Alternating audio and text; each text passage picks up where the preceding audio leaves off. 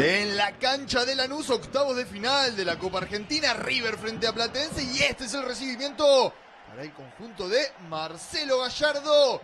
Del otro lado, el Calamar la última vez estuvo en la cancha del Granate, ascendió a la B Nacional. Los hinchas recuerdan aquel evento y hay duelo de hinchadas entre River y Platense.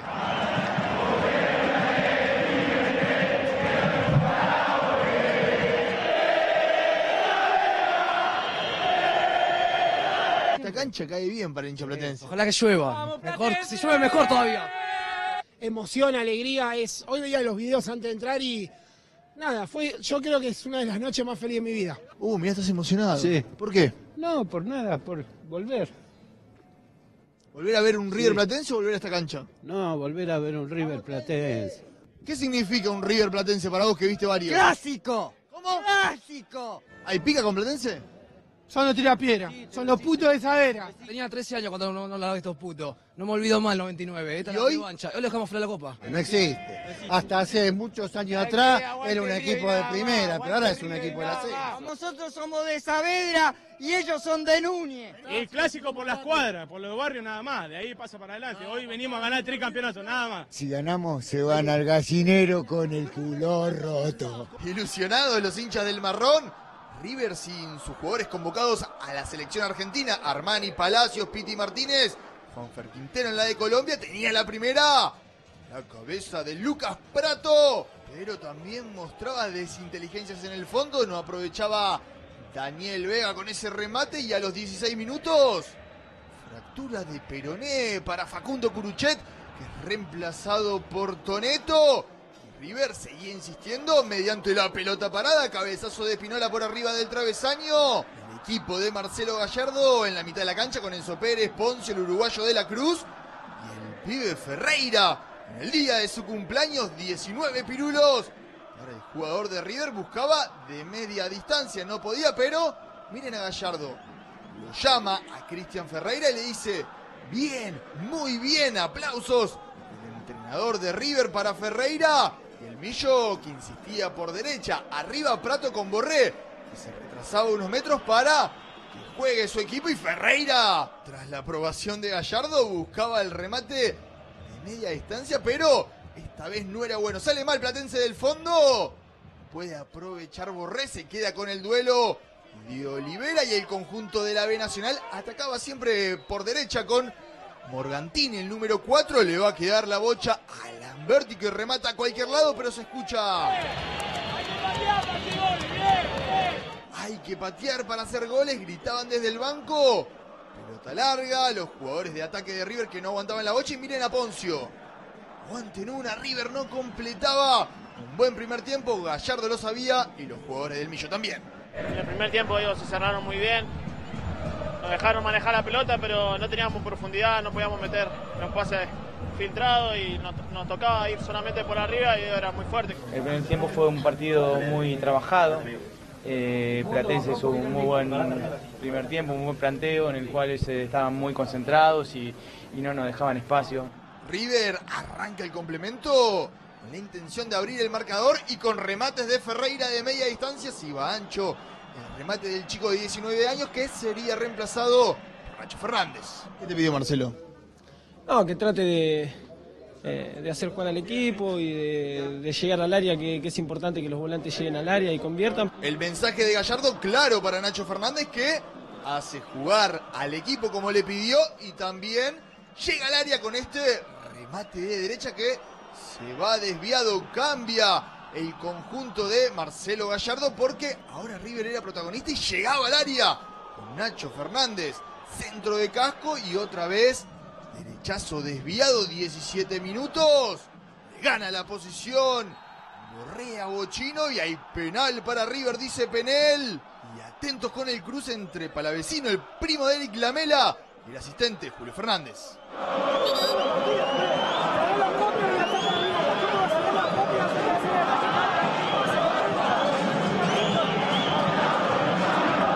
En la repe como no hay dudas, mete la cabeza a Borré, Bochino le pega en la cara, penal y amarilla, Prato aprovecha para abrir el marcador de esta manera.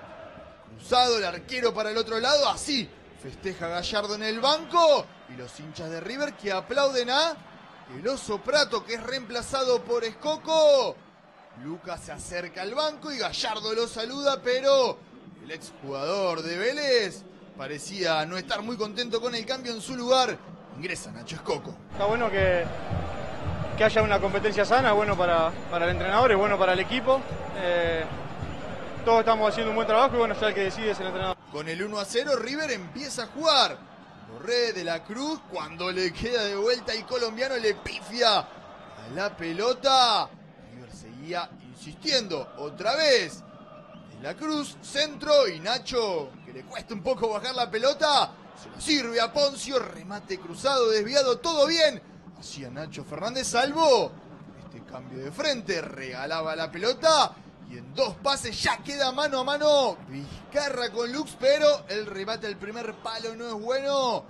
River quería el segundo tanto que le dé tranquilidad en el encuentro. Nacho Fernández que estaba flechita para arriba, zurdazo al lado del palo. Hasta que a los 35 minutos Nacho Fernández lo busca a Nacho Escoco. Buena jugada del exjugador de News. La pelota pega en el palo, pero había mano, entonces Penel dice penal para River y miren, Borré quería ejecutar el penal, pero nadie se lo iba a sacar a Escoco que agarra la pelota. De por medio con Borré, ejecuta cruzado de la misma manera que Prato, pero esta vez de Olivera adivinaba la punta, pero la bocha iba bien esquinada. River con el 2 a 0 empezaba a lucirse, pero no definía, tarda en rematar. Borré se diluye la jugada, después el pase de Joco no es bueno, pero nosotros nos quedamos con Marcelo Gallardo que le habla a Borré, al colombiano, miren las manos, pégale de una. Hace un gesto de pegale sin mirar de una de primera, entonces a la jugada siguiente de vuelta. Escoco para Borré que la quiere pinchar. No era la noche del colombiano, tapa de Olivera, por eso se lamenta Borrefe final en cancha de Lanús. River ganó 2 a 0, todos quieren foto con Gallardo, hasta los policías. Su equipo ya está en cuartos de final de la Copa Argentina y los hinchas se ilusionan con jugar en semifinales frente a Boca. ¿Te gustaría cruzarte con Boca en Copa Argentina? Me encantaría, con Copa Argentina, en la final del Libertadores, me encantaría. Con Napoleón encima, me encantaría cruzarme la Boca, me encantaría. En la Copa Argentina, en el Libertadores, en el ajedrez y en el truco. Siempre.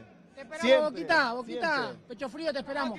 Platense aguantó en el primer tiempo, pero no pudo con la jerarquía de River en el complemento, por eso el reconocimiento de los hinchas del marrón y la alegría de los jugadores de River. Creo que en el segundo tiempo eh, se cansaron un poco ellos de correr tanto atrás de la pelota. Bueno, a partir de que abrimos el marcador, creo que empezamos a encontrar los espacios, empezamos a ser más profundos y se vio el River que, que veníamos haciendo. Entraste y cambiaste el partido. No, bueno, ellos en el segundo tiempo por ahí sintieron un poco el cansancio y ahí aprovechamos nosotros y creamos las situaciones. Después también algún compañero siempre te dice, o alguno que lo vio desde afuera, siempre te dice que, que, que anduviste bien. ¿Quién? Mandale al frente. No, no, me dijeron, bueno, Lucho, el Beto, hay un par que, un par que son amigos míos, así que no sé si, si tomarlo en serio. El segundo tiempo, yo creo que cuando ellos bajaron ahí un poco, nosotros subimos y, y, bueno, aceleramos y bueno, tuvimos el gol del penal y después empezamos, creo que después fue de todo dominio de River y con intenciones de también de, de ir y buscar un segundo gol y, bueno, yo creo que el segundo tiempo me dejó totalmente conforme.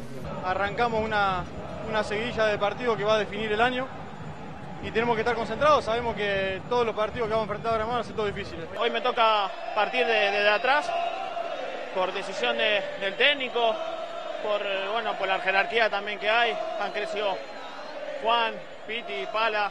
Los ratos que me toque jugar como me ha tocado jugar en el campeonato, seguir haciendo lo mío y servirle para el equipo. Nosotros pensamos que eh, esta, esta copa para nosotros es importante porque nos, nos, nos permite ver con ilusión una plaza en la Libertadores y, por más que a veces los niveles eh, de rivales que tengamos eh, no, no, generen tanto entusiasmo desde, lo que te enfrentás con otras eh, con la magnitud de otras competencias como es la Libertadores, pero nosotros entendemos que jugar de esta manera es la que nos va a permitir estar preparado para el otro.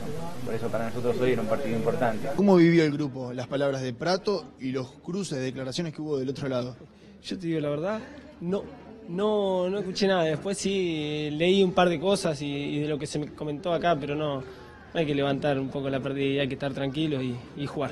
Lo que pasa es que siempre esa clase de preguntas hay que responderlas. Eh, lo mejor sería responderla que nosotros nos fijamos en, eh, solamente en lo que hacemos nosotros y, y no la diferencia que marcamos con los rivales. Esa sería por ahí un poco la, la, la respuesta, pero eh, obviamente esa, esa respuesta, esa pregunta viene con doble sentido y después, según lo que respondés o lo que decís, eh, es lo que pone en la tapa de los diarios. Y creo que Luca no tuvo ningún momento intención de, de mandar un mensaje al otro lado y bueno, eh, hay que darle un punto final a esto.